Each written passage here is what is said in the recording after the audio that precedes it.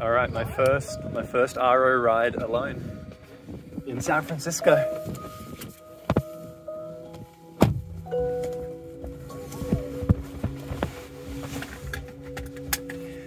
Okay, gonna press start ride. Whoa, it just starts straight away. Here we go.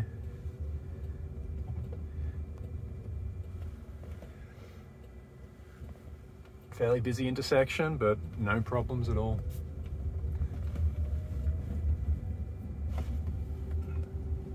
Driving on the streets of San Francisco. No one in the front seat.